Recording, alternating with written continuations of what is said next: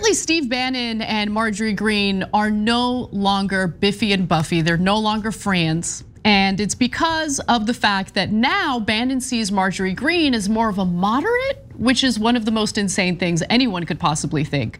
But he has lost control of her, lost control of how she votes, and he's very upset about it. Now, look, this all started when the apparently Daily Beast had leaked text messages between Matt Gaetz and Marjorie Greene, And in them, Marjorie Greene had some, some stuff to say about Steve Bannon. She said specifically, Steve and I aren't patching things up, and if he keeps coming after me, I'll take the house and kids. I hope you'll pass this along to Steve because I'm over it. Now, there's more explosive texts, but before we get to those texts, uh, let's find out why they're fighting in the first place. So, Steve Bannon led the charge in this uh, conflict, calling Greene to be primaried by a more right wing candidate who is real MAGA because of the fact that she voted in favor of the debt ceiling bill. Bannon did not want her to do that, but she did anyway. Uh, he made the comment in response to a Politico article that detailed how she and Jim Jordan helped Kevin McCarthy get his debt deal through.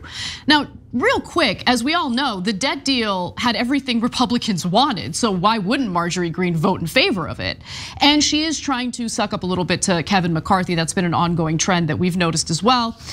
Um, now, Greene's debt ceiling vote and her previous support for Kevin McCarthy's leadership role within the House didn't sit well with Bannon, who wants the party to go further to the right. And in another Gettr post, uh, he wrote this. The 149 must be held accountable for the most anti-MAGA vote in history. Okay, so with that said, uh, he wasn't done. He wanted to keep going. So after the Daily Beast had leaked Marjorie Greene's text to Gaetz, he actually upped the ante during his War Room podcast. Let's watch. Republican Party, those 149 who voted for it, who all have to be primary. Let me repeat that. All of them, including people we're quite fond of and some who we used to be fond of have to be primary. You know why? They have to stand on a debate stage when the primary season and they have to justify what they did with the knowledge they had of at the time of what went on and then what the impact is because the impact during primary season is going to be a lot worse than it is today. So, Cenk, thoughts on this uh, growing conflict between Greene and Bannon?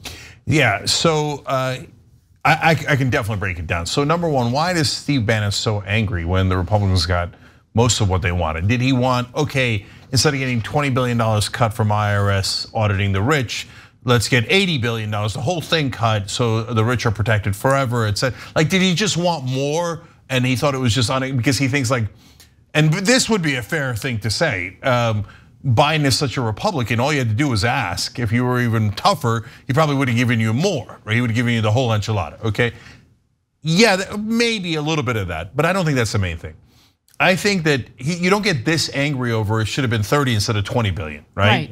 right. Um, no, he wanted them to actually crash the economy because then his the main guy he's supporting, Donald Trump, would have said the economy crashed under Biden. Like you know how Republicans are 10,000 times better at messaging than Democrats. The Democrats would have been like, "Oh my God, if they if they actually didn't lift the debt ceiling and the market crashed and the interest rates went higher, et cetera, as as every economist predicts, Biden would have panicked and be like, "It's my fault. I, love the Republicans. I'm so sorry." Right? And and he would have gotten blamed for it because he's the president. And Bannon is not wrong about that political calculation.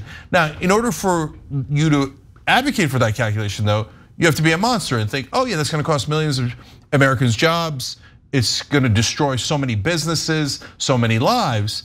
But monsters like Bannon and Trump, they don't care about that at all. And would it have been a significant political advantage for them? Probably. And isn't Bannon this big believer in this traditionalist philosophy where like he almost wants chaos in order to implement it? Yeah, yeah. So look, we talked about this. Before Bannon uh, believes in this Russian philosopher, the one that the Ukrainians probably uh, almost killed, but the her daughter, his daughter, uh, blew up in the car bomb instead. Yeah, Alexander okay. Dugin, right? Yes, and so the Duginists believe in going back to the medieval ages. Literally. Yeah, like in terms of like how we live. They want to go backwards. That's progressives want to go forwards. These conservatives are so ultra conservative. They want to go backwards. So what does that mean? Religion, Christian nationalism, Uh, so screw science and vaccines and doctors and and and the tech companies and everything that's involved with going forward, they hate it.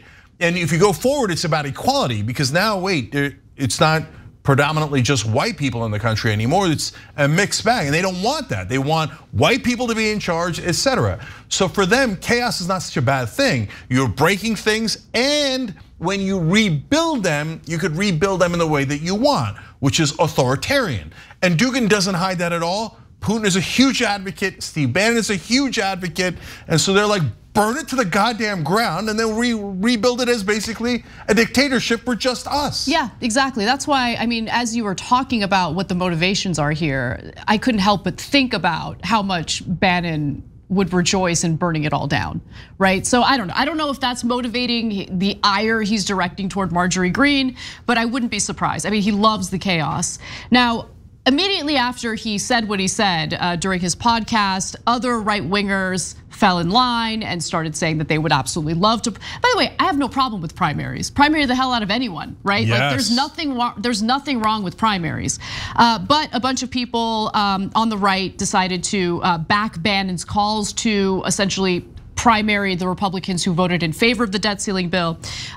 Stu Peters, who's the host of the Stu Peters show, says, I 100% support a challenge to Marjorie Greene and look forward to meeting and helping a serious challenge to her. Far right activist and former Florida congressional candidate Laura Loomer also chimed in saying, she took a job from me when she publicly accused me of being crazy. You're not crazy at all, Loomer. You're totally stable, not unhinged, okay? don't worry.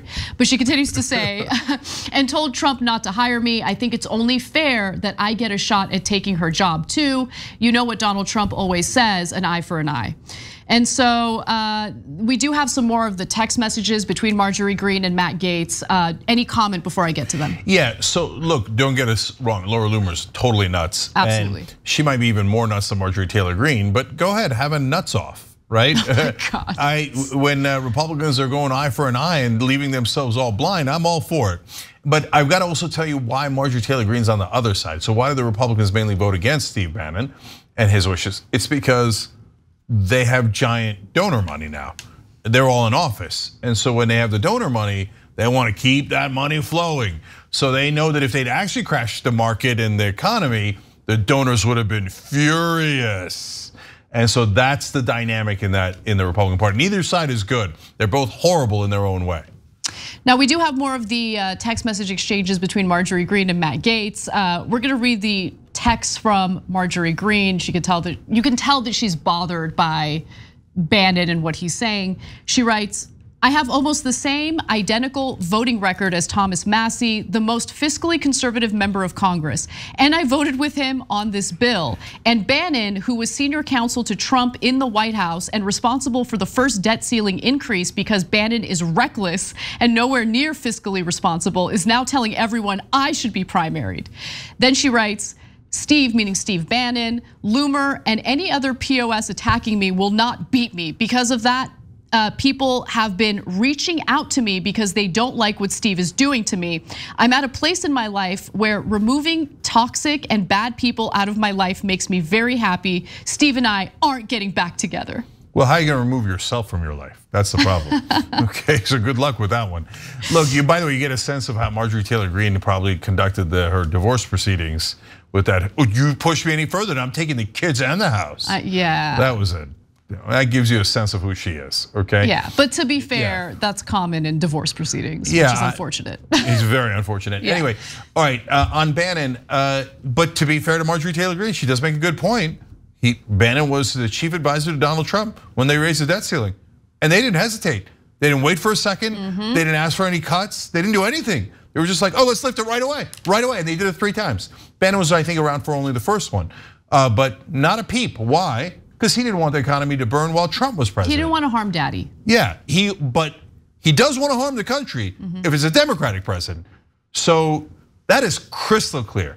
See, look, we're fair. We don't like either one of them, right? But I'll tell you when someone makes a good point and the other one makes, and Marjorie Taylor Greene there has an undeniable point. Steve Bannon, should you be primaried on your own show? Should we get a new host in there who's more pure? Because apparently you're a piece of crap sellout to the establishment and to the donors and to the, and probably to the globalists. Why did you raise the debt ceiling? Why did you do it? You had a perfect opportunity to destroy everything in the world, but yet you didn't do it. Well, now look, according to your logic, it would have been great.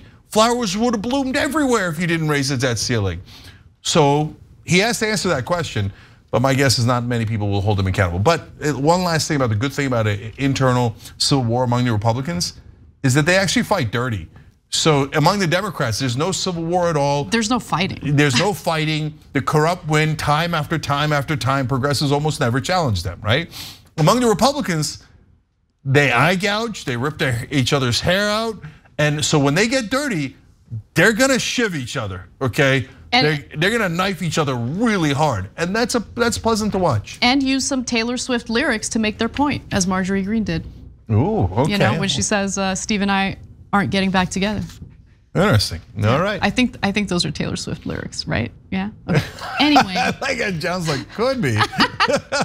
Thanks for watching the Young Turks. Really appreciate it. Another way to show support is through YouTube memberships. You'll get to interact with us more. There's live chat emojis, badges. You've got emojis of me, Ana, John, JR. So those are super fun. But you also get playback of our exclusive member only shows and specials right after they air.